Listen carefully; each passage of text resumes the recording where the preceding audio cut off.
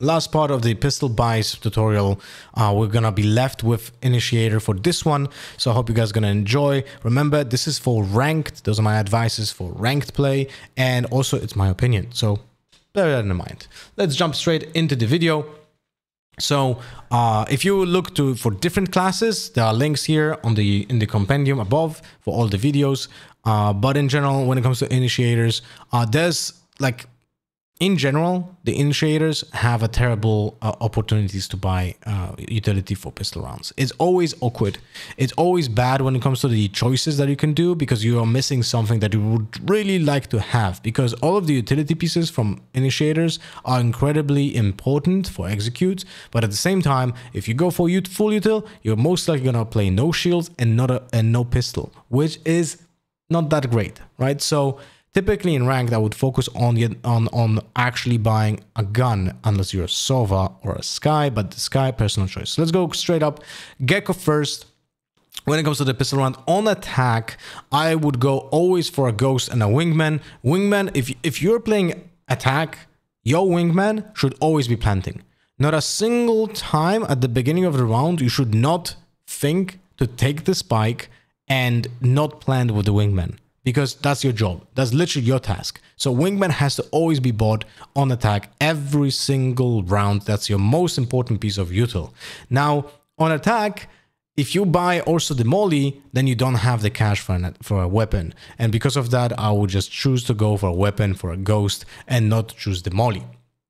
Now, on attack on Skye, that's a personal choice. I feel like um, this is probably the weakest buy all of all of the uh, initiators here because I would always go for two flashes um, and the dog. And if you go for that, then why not buy the heal? Maybe it's gonna get uh, useful. Unfortunately, because of that, you cannot buy a weapon because you don't have enough cash, right? So you have no shields and no gun. This feels pretty awful for ranked right? But the double flashes from Skye are just so incredibly impactful. Not only deliver like pressure, but also um, the uh, the informations. And remember to use the free bird technique, which allow which allows you to be more um, aggressive, right? So if you don't know what we're talking about, check in the playlist. There's a there's a tutorial on how to flash with Skybirds to be more efficient.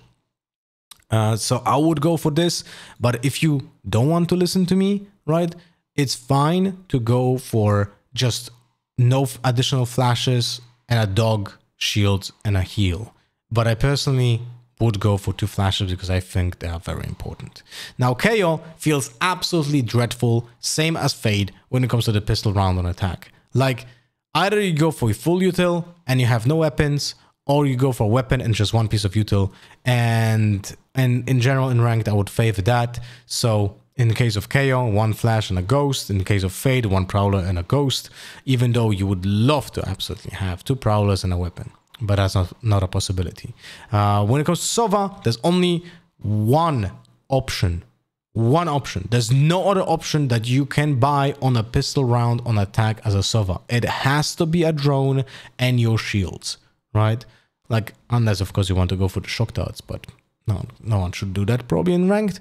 So you should probably believe in yourself more and go for the shields with the Sova drone that is so needed for any, any kind of execute. And when it comes to breach, if you play with a duo that you're supporting with that breach, go for full util. But if you play just solo queue alone as a breach, I definitely go for a go, uh, ghost and a flash is the preferred choice.